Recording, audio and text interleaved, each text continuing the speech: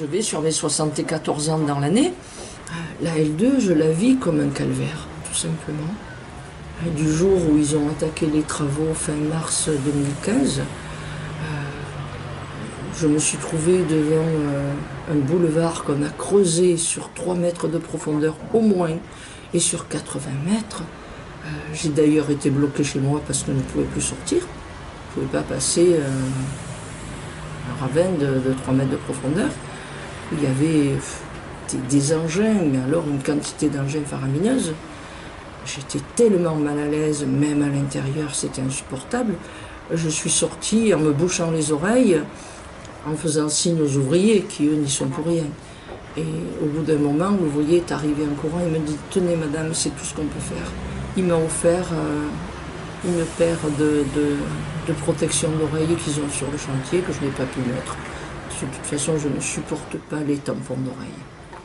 Voilà. Les tampons d'oreilles, c'est tout ce qu'on m'a offert pour me protéger du bruit. Et effectivement, euh, ça atténue un petit peu, mais je n'entends plus mon téléphone. Euh, on ne vit plus.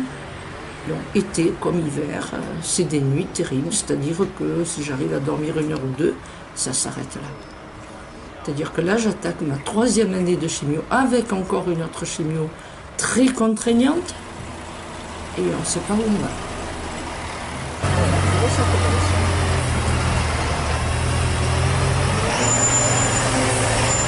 c'est un jardin que j'ai créé. Je passe, quand je suis en bonne santé, 8 heures par jour. C'est une passion. Hein. Je suis dingue d'arbres rares que je protège régulièrement. D'ailleurs, tout est protégé, tout est en abri, en abri chauffé. A d'hiver encore.